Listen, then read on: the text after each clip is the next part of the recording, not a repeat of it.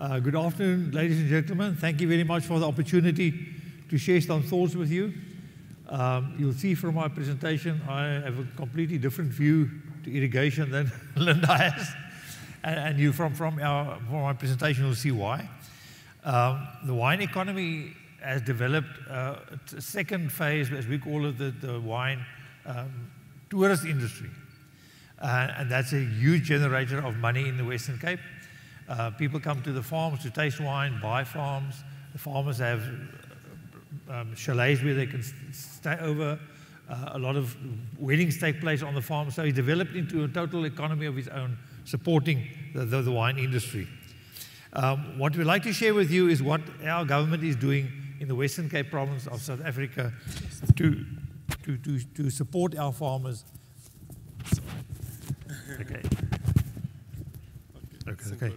To support our farmers currently, but also facing um, the impacts of climate change. So I'll, I'll basically touch on, on, the following aspects. Uh, look at the limited water resources, some challenges, global warming, our smart agri project, Fruitlook project, research handbook, and then a take-home message. Now, Benjamin Franklin said many years ago, when the well is dry, we learn the worth of water.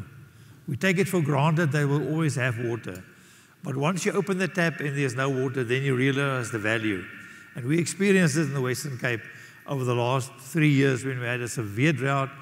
And most of you probably heard of the so called day zero concept that we had, uh, where the planning was done that at a certain stage, the taps to all the urban areas in the city of Cape Town would be closed down. Uh, and you have to go and collect your 25 litres per person per day from a central point. And I don't think anybody want to go there. So once again, we appreciate um, having water available.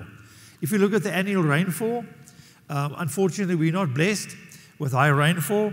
Our rainfall is only about 470 millimeters a year against the world average of almost double that. And then we've got an additional problem, uh, a challenge that we get 80% of that in five months. It's not evenly spread across the year. So we see um, we have a couple of areas where our rainfall is on the eastern seaboard, and in the Cape Town area, mainly the mountain areas. The challenge that we face, if you look at the rainfall since um, 1993, uh, this is the Cape Town National Weather Office, you can see there's a steady decline over the last 30 odd years. And that's a worrying sign to us. Is that trend going to continue or will it change? And remember, that started long before we were talking about climate change. As I said, this is from 1993 onwards. Then we get to global warming. Everybody is well aware of that. Um, and, it presents special challenges for us. Um, one of our towns called Vredendal um, in the West Coast in October 27, 20, um, 2015, the highest temperature ever on Earth for the month of October was measured at Vredendal. The highest temperature ever on Earth for the month of, of October. Some of the current trends and future predictions, see, it doesn't look good for us. Uh, increase of between one and one and one and a half degrees. Uh, also a decrease in rainfall. So over the long term, we, we experience, um, probably experience severe challenges. It is predicted that the Western Cape will probably be the province most affected by climate change in our country. So I think for us, it's, it's there. Uh, climate change is happening, and we learn to live with it. Temperatures will increase. As a result of that, evaporation and evapotranspiration will increase.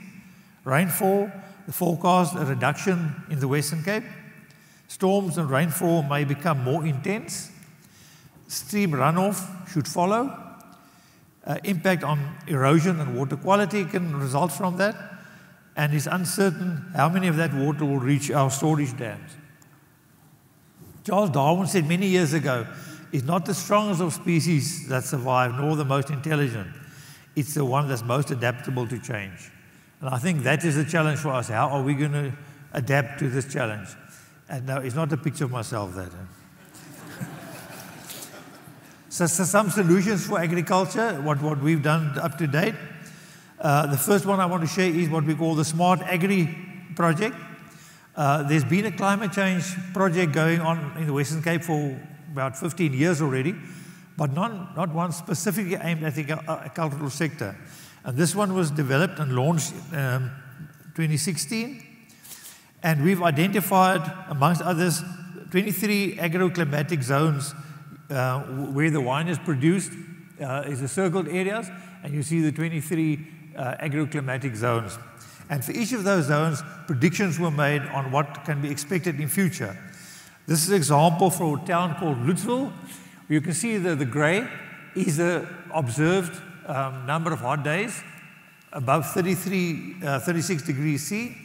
And the red one is the projected additional number of, of hot days that we can expect.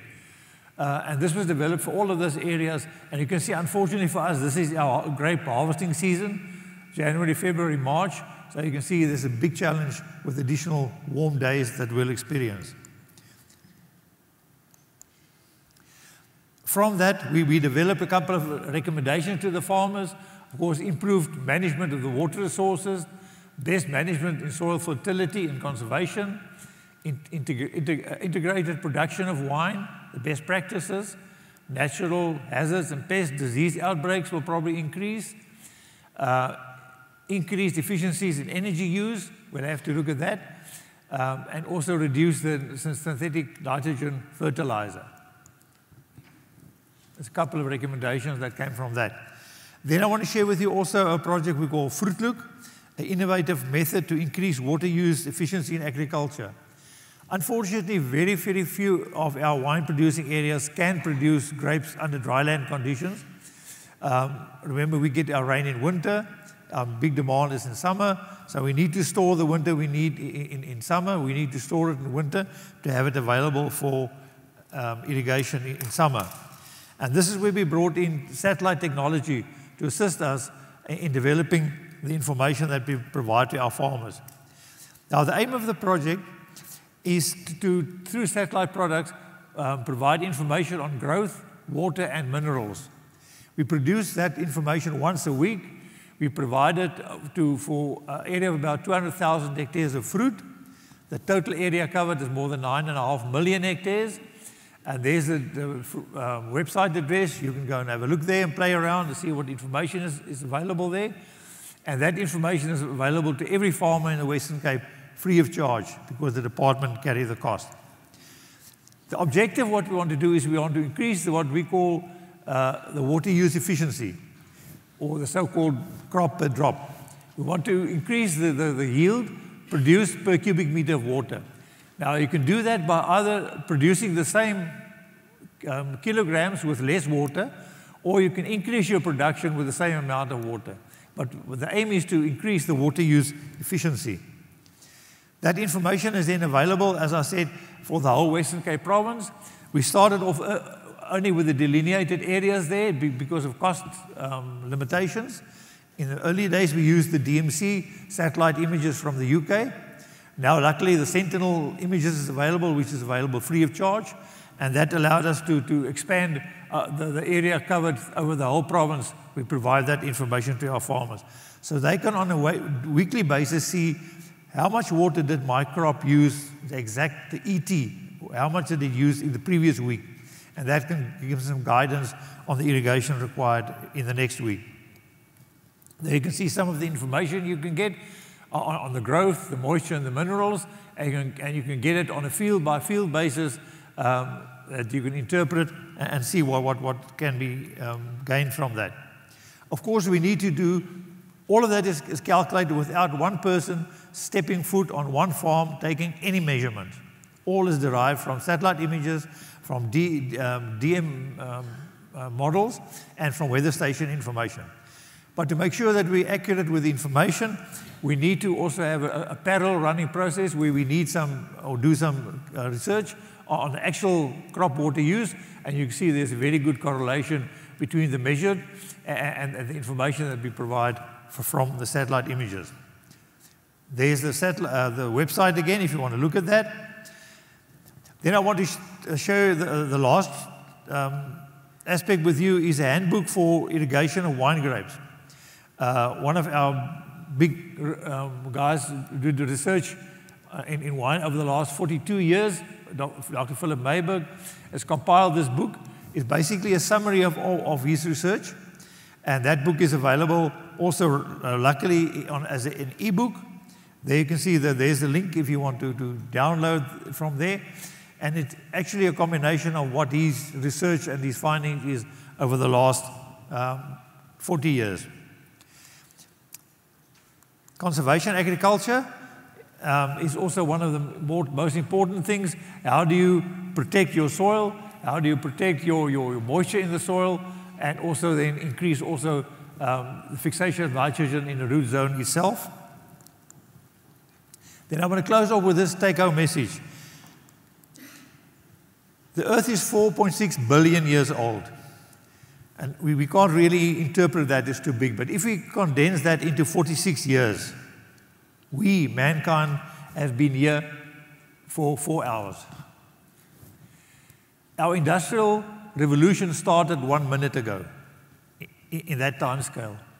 And in that time, we've destroyed more than 50% of the world's forests. And surely that's not sustainable. Luckily, we have what we call a stewardship program uh, across all our farming areas, but for the wine industry, there's more areas currently in wine farms on, on the stewardship in perpetuity registered than the actual area under vines itself, as a contribution of the wine farmers to, to um, add to conservation and sustainable farming. Thank you very much for your time. Yeah.